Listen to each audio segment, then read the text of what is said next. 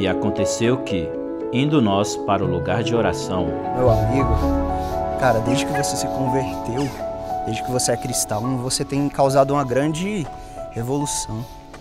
Uma grande revolução ou uma grande bagunça? É, eu acho que os dois, viu? E será que ninguém vai desconfiar da gente, não, cara?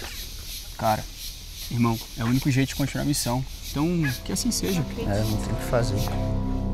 Vejam só se não são Paulo e Silas, esses cristãos famosos que ficam por aí pregando de um reino que não se pode ver.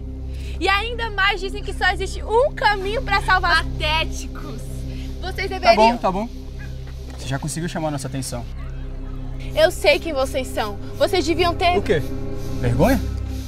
Não preciso. Eu sei quem eu sou. E você? Sabe quem você é? Pois bem, então eu vou te dizer. Você é conhecida por Deus. Você não nasceu pra isso aí. Uma vida de likes, de agradar aos outros. Você pode ser livre disso aí. E aí? Tá preparada, Alice? Eu te liberto em nome de Jesus. Alice? Como é que ele sabe meu nome?